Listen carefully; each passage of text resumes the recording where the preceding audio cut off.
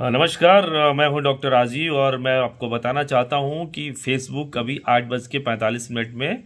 बंद हो चुका है और फेसबुक ही नहीं इंस्टाग्राम भी बंद हो चुका है और शायद यह अब अपडेट होके न्यू वर्जन में आएगा और वो बारह बजे रात के बाद एक्टिव होगा। तब तक आप लोग अपना काम कीजिए और ज़्यादा टेंशन नहीं लेना है फेसबुक स्टार्ट होगा इंस्टा भी स्टार्ट होगा बस बारह बजे रात का इंतज़ार कीजिए।